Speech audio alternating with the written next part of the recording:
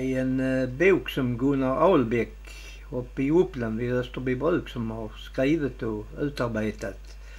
Och den heter Nyckelharpsfolket.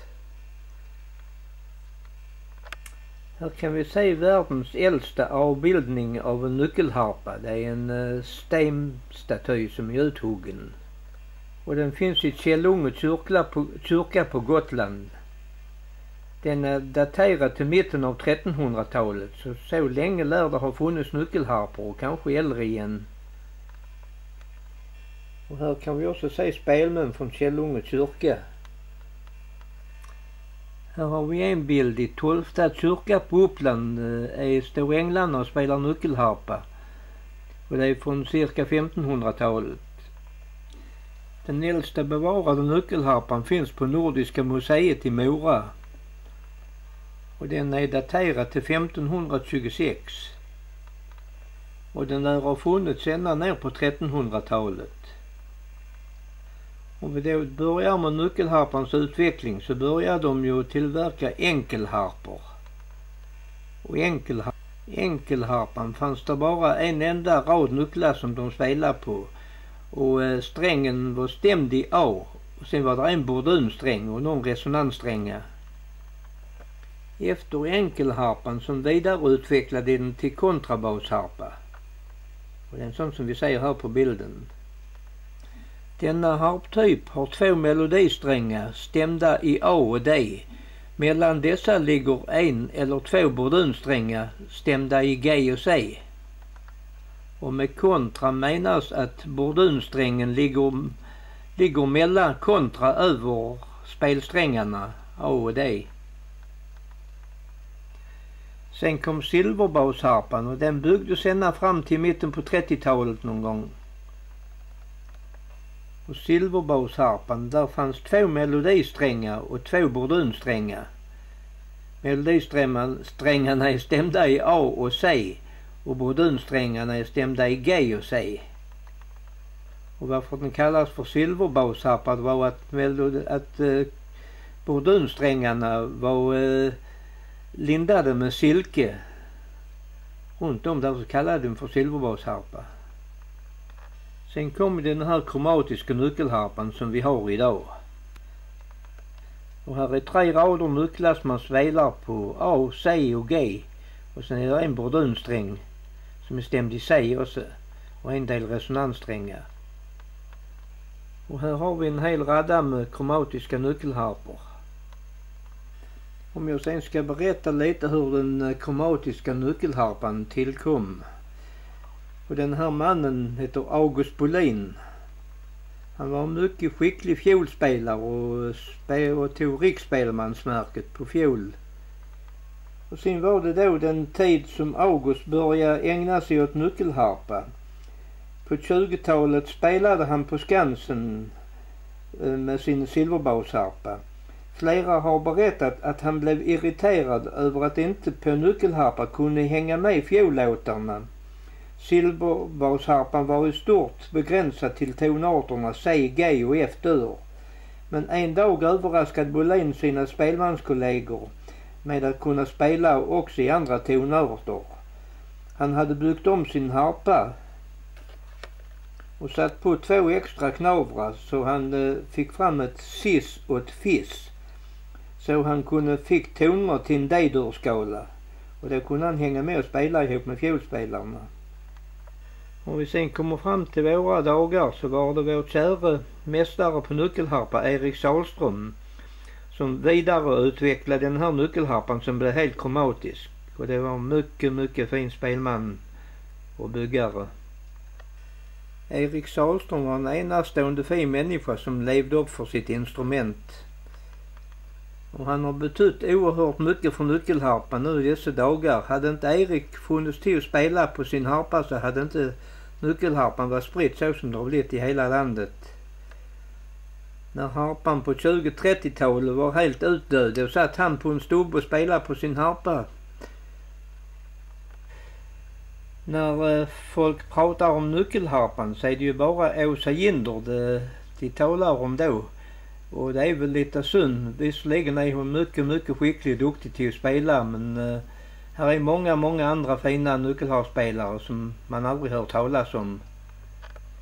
Åsa hon blev riksspelman när hon var 15-16 år och var mycket skicklig till att spela. Sen har hon gått sin egen väg och spelar modern musik med synthesizer och sådana här grejer. Och, och det är väl mest hon som är i ropet idag.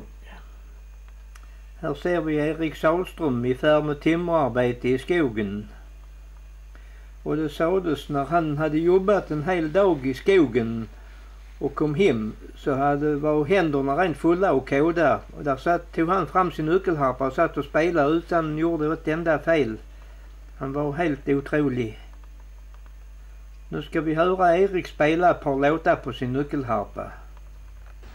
Klockare polketten. czas. Aha, Kolumbia. Pom, pom.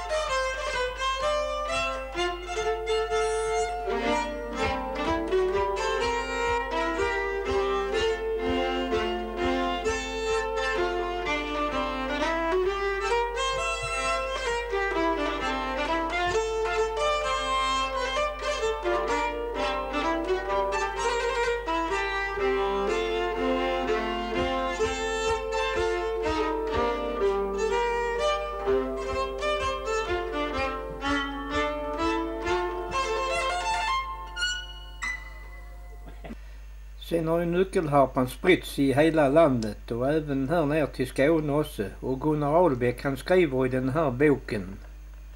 Lennart Nilsson Warmstad Lövestad är sannolikt Skånes första nyckelharpsbyggare i modern tid. Sin första nyckelharpa byggde han 1973 och fram till 1979 hade han byggt 16 stycken. Nilsson startade en byggcirkel i Smedstorp hösten 1977 Fram till 1979 hade 12 instrument färdigställts. Nu vet jag inte om det stämmer eller är sant men eh, enligt det står i boken så skulle det kanske vara på det viset. Om vi nu skulle övergå till dagens nyckelharpsbygge så har jag lagt upp lite delar här på bordet och ska försöka förklara lite hur det hela går till. Man börjar med att hyvla fram träbitarna i vissa mått 50 gånger 70 alltså 55 centimeter långa och halsduket ska vara 100 millimeter bred och 70 djup. Sen äh, sätter man ihop bitarna med skrutfingar. Sen lägger man en mall på och ritar ut konturerna som det ska se ut. Sen skiljer man bitarna och sågar dem. Man kan se en bit här som är sågad. Här ser man hur den är sågad här. Sen hyvlar man ner själva sargen så den får en sån båge som man kan se där. Där locket ska limmas på. Sen har man locket en 4-5 millimeter tjockt och um, lägger dem i varmt vatten och böjer dem över en mall. Så man får den här runda bågen. Sen ska den limmas på, lock, på äh, sargen. Och dessförinnan ska man sätta en basbjälke inne i locket också. Sen är det tid att göra själva leken eller tangentsystemet kan man kanske också kalla det för. Nyckellådan heter det ju också. Det är ett ganska tidskrävande jobb det. Det är många detaljer att göra. Jag kan se lite nycklar som ligger här på bordet. Så sågar man ut sån här hack här som nycklarna ska ligga i och ledas i. Sen ska man göra stränghållaren och lite sådana grejer. De allra flesta nyckelharpsbyggare bygger på detta här viset. Och här har jag väl ett färdigt instrument och ligger här på bordet. Och här har jag min första nyckelharpa som jag byggde 1972-73 fick jag den klar. Och det var väl ingen lätt uppgift att bygga en nyckelharpa för jag visste inte vad jag höll på med för någonting. Jag kom i kontakt med som hette Nisse Johansson från Göteborg och där fick jag en pappmall och han här, det var det enda jag hade gå efter när jag byggde. Och jag visste inte vad jag höll på med för någonting heller. Men så fick jag hans adress och telefonnummer på baksidan så jag ringde när jag hade byggt lite och sen ringde jag igen. Jag tror det gick ett par hundra telefonsamtal innan jag fick harpan klar. 1995 hade jag den här nyckelharpan på en utställning uppe i Österbybruk. Och då eh, har vi döpt han till telefonharpan i och med jag byggde han per telefon. Sen kan man väl säga som så att den första egentliga kontakten jag fick med en nyckelharpa det var när jag fick min egen harpa klar och det är den här ligger på bordet. Jag har en fiolbyggarbok här som Gunnar Sandborn har utarbetat. Och den handlar om de eh, akustiska naturlagarna som finns. Och det är många uppgifter enligt den boken som jag bygger mina nyckelharpor nu idag.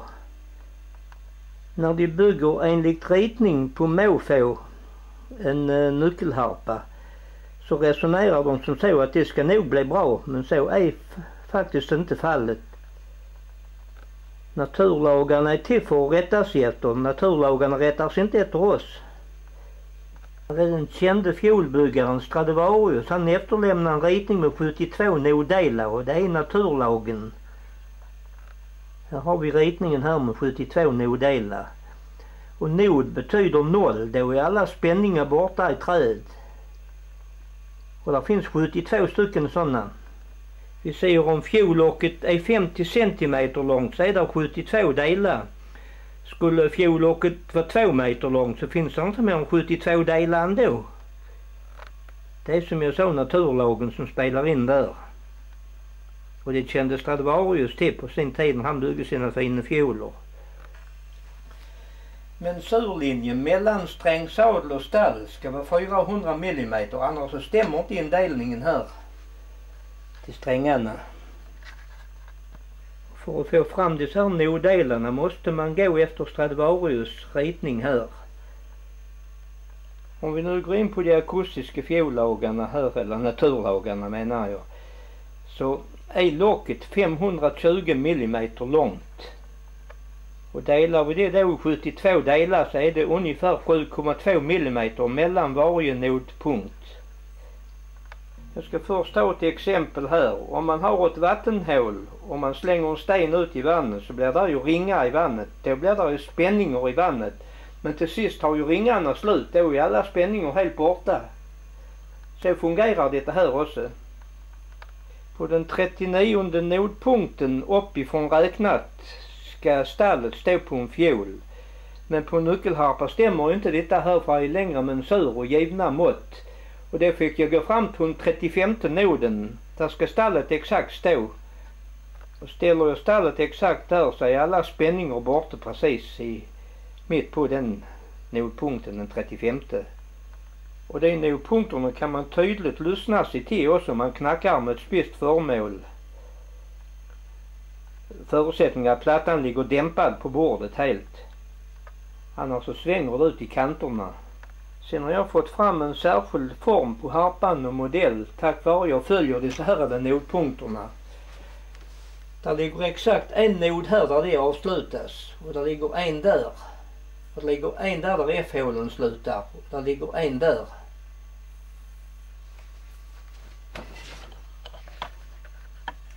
Nu har jag lagt fram denna harpekroppen här. Nu ska vi se om vi inte kan lyssna fram till de här noderna. Ska vi höra. Där är han. Här tonen sjunker där.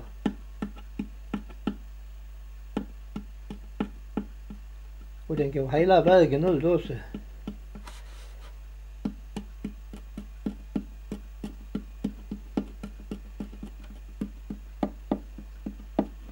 Sen har vi en ligger.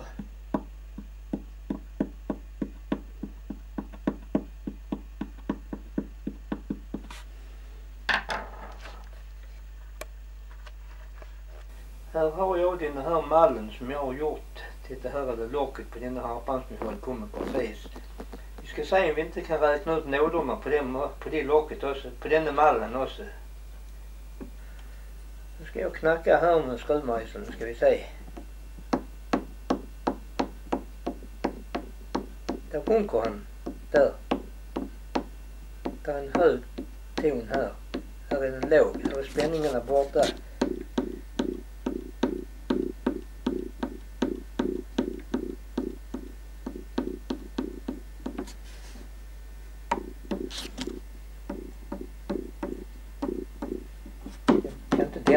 Lite plattan här ser jag.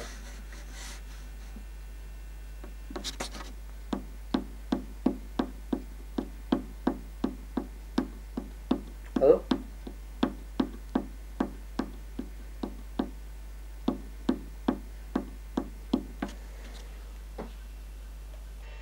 Den här byggnationen av nyckelharpor har jag försökt att förklara för entusiasterna där uppe i Uppland men jag har aldrig lyckats riktigt. Men faktum är att jag tror på det själv. Men, men de säger bara det är rena nonsens alltihopa. Och, så där är inte mer att göra med det. Det var vissa personer och de där uppe som trodde helt blint på detta här. De tyckte det var helt otroligt. Det kunde, man kunde förändra klangen på en harpa så, på det viset. Men här ska jag visa en intressant historia. Det är ett konfirmationskort. Kortet i sig själv är väl ingenting men eh, de har med de akustiska lagarna att göra det också. Om man knackar på töserna så har det en hög ton. Knackar man det på pågarna har det en låg ton. Och man dämpar kortet på bordet. Vi ska höra tydligt här. Här har vi prästen har låg ton. Det är hög ton. De har samma ton ungefär.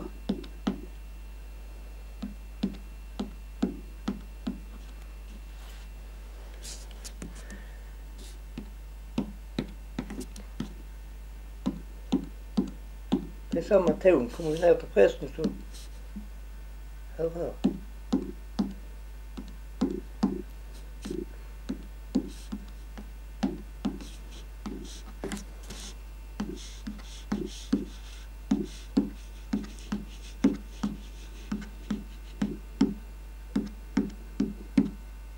Tös som har samma ton här.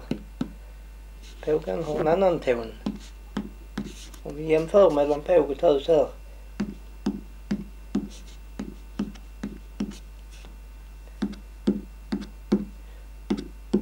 Prelle får ha någon smäll också. Jag kan inte förklara hur det kan vara men konstigt är det Här har jag tre harpor som jag har hängt på stolarna här nu. Den vänstra harpan är en Erik Sahlströms harpa som jag köpte av Evik. Kommer inte ihåg om det var 73 eller 74. Och den mittersta harpan är en som eh, jag har byggt nu efter de akustiska lagarna så gott jag har kunnat. Och den högra harpan är den första harpan som är byggd 72-73. Om vi börjar med stallet så är det en väldigt viktig del på en nyckelharpa också. Det kan man jämföra med en mikrofon. Om man säger att man, eh, man kan köpa en mikrofon för en hundralapp och man kan köpa en mikrofon för flera tusen kronor. Varför kan man då inte välja en 100 kronors mikrofon om den skulle vara lika bra som den andra? När jag stryker på strängen på en harpa så eh, blir det ju vibrationer i den. Det blir ju en viss ton ju. Den tonen ska förmedlas till stallet och via stallet ska den gå ner till locket och via ljudpinnen ska den gå ner till botten så alltihopa kommer i rörelse. Men man säger då att på ett stall som inte är akustiskt avstämt så blir det inte mycket ton kvar när du ska nå locket. Man ser så som här på Eriks stall till exempel. Det är, man kan tänka sig det är en vanlig träbit som är rest bara. Däremot om man gör det helt akustiskt så um, blir det maximala svängningar om stallet står på den här nodlinjen som jag har pratat om innan. Det får man, eh, alltihopa är det en viss balans i. Man kan se stallet på min första harpa som jag byggde där. Det är också, kan man jämföra med en vanlig träbit som är rest rätt upp bara. När de svänger där så blir det inte mycket toner kvar till, på locket där. Nu tänkte jag dra några toner på de olika harporna här. Jag börjar med Eriks harpa så ska vi lyssna och höra.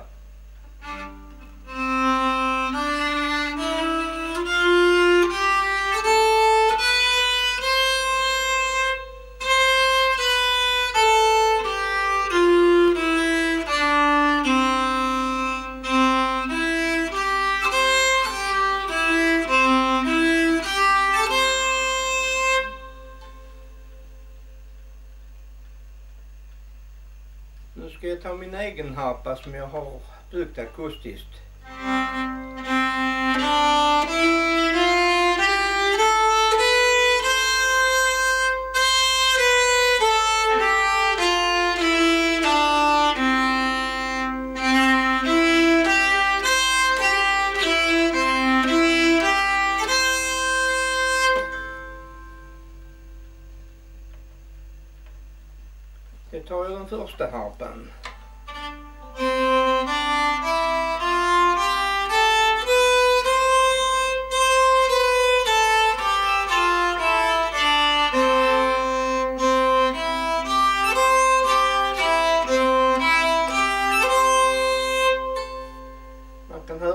Skillnad på klangen på dem. Nu ska jag försöka spela en bit på de olika harporna också.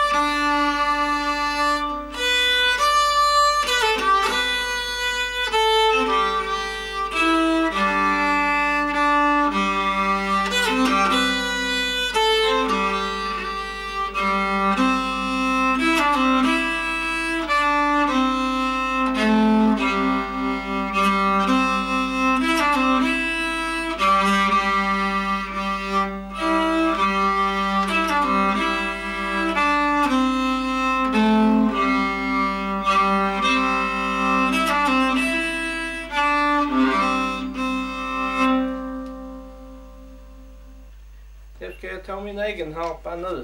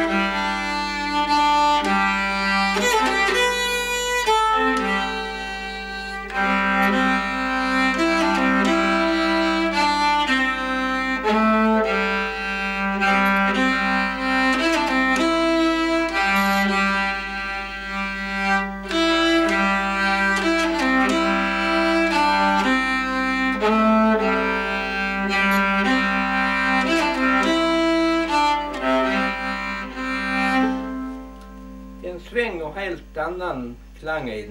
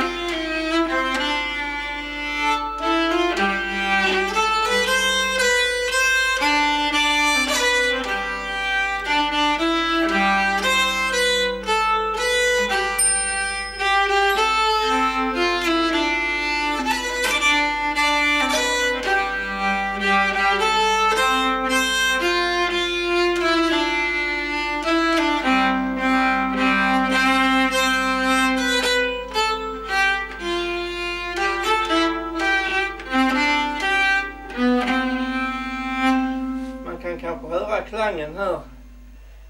Sen många harpespelare de strävar ju efter en upplandsharpa för det har en speciell, speciell ton. För det första så har de ett stall som inte är akustiskt avstämt. En del kanske har det men eh, många ser ju ut som detta här. Om vi sen går ner till botten på harpan så gör de en eh, botten som är en eh, 8-9 millimeter tjock och jämnt tjock hela vägen ut. Och framförallt så har de snedställda sarger så botten blir mindre än vad locket är. Botten ska tunnas ut på, eh, i kanterna. Vi säger är den eh, 8-9 millimeter på mitten så ska det tunnas ut till kanske en, eh, ja, en 4-5 millimeter i, i kanten. Och då får man mer akustiskt rent. Och har man då en botten som är smalare och kortare än locket då går man ju ifrån nodlinjesystem. Då stämmer inte det på den 35 noden. Och i Gunnar Sandborns fiolbyggarbok här kallar han det för akustisk smitta. Nu tänkte jag avsluta den här filmen hemma hos Erik i hans verkstad. Och det filmade jag när jag var på och köpte den här harpan som ligger här på bordet nu. Och det är rena spexet alltihopa. Nu när vi ändå står i din verkstad så tänkte du skulle visa mig lite hur, hur du gör när du sätter dit ljudet. Ja, Du lägger i det i särskilt hål eller vad gör du? ja, jag är lite noga med det. så Ja det är klart. Visst Jag har som enkomma grejer som jag stoppar i. Du stoppar i Ja, trollgrejer. trollgrejer. Ja. Vad är det till? Det säger du inte för dem. Nej, det Är det en mänskeben eller? Jo, då. Det ska vara ben. Ja. Fast det då lär man gå på kyrkogården. Ja, och leta. Det ska vara, kan det vara någon särskild ja, sorts? bäst om om man får, får tag i en fruntimmer. Ett fruntimmer ska det vara. Ja. Ett hår av hin ska det vara. Ja, ja, visst. Ja, ja, det är klart. Då ri- skriker det bra. Ja. ja, det förstår jag. Det begriper jag. Nu ska jag se om jag kan göra likadant när jag kommer hem till marknaden. Om det har varit någon gammal kärring Ja, som man vet. Ja, det var ju bra. jo då. Nej då. Men så det är din sista harpa detta, den Ja, senaste. Ja. Och det var nej. fint. Jag fick tag i ett lock. Eh, som var, eh, var lite flammigt Ja, ja. i trä. Ja, ja, ja, jag ser. Ja, Mm. Jag tänkte att jag skulle prova med det. ja. ja visst. Ja, är det. ah, Det är så. jag Det är inte det. Det är själva trollpåsen Ja, som, trollpåsen som gör som gör ljudet. Ja. Oh, ja. ja. Nu får du spela för jag höra hur det låter. Den här trollpåsen.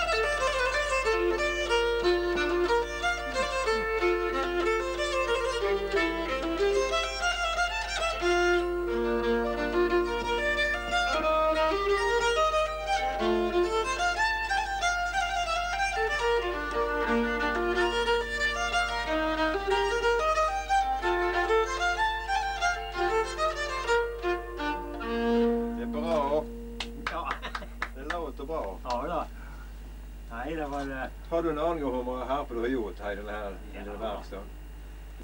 ett par 300. Tror du det? Ja, Är det så många som tre? ja nästan. Ja, det är bra. Ja. Du har varit duktig mycket. Det är enastående. Det är den som har försökt göra sådana här vet hur mycket arbete det är så mycket arbete. ja, men det är konstigt när man blir van så Så går det fort. så fort tror jag. Jo, ja, oj, man hinner knappast läsa. Men det är inte att få dit påsen? Nej. La åka till och göra här. Ja, visst. Det var ju tur vi kom hit och Ja. fick se det. Ja. Och sen har du sågen där så Du du såg den och så. Ja. Om man blir för lång då kan man kapa så kapar du av en bit. Ja, där. visst. Ja. Så kapar du bara där ja. ja. Men det allra konstigaste är ju med trollpås. Det är ju Ja. sådana påsar då, det är som hänger där. ja, Men det, det är svårt. Jo, Det är innan man, innan man får på locket. ja, Då kan man få i en sån där. jag kan få in så. Ja, Ja, jävlar.